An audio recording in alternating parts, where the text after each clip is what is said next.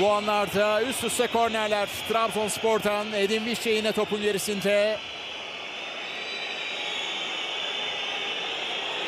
Nedim Vişça orta geldi. Kafa Okay'dan boşta kaldı. Enis vurdu.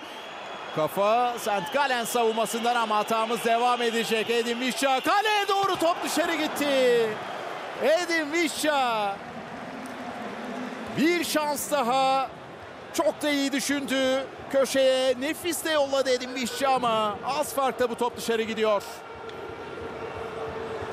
Yerde kalan bir isim St. Gallen savunmasında. Sağlık görevleri bir kez daha oyun alanında. Abdullah Avcı'nın da şuta reaksiyonu.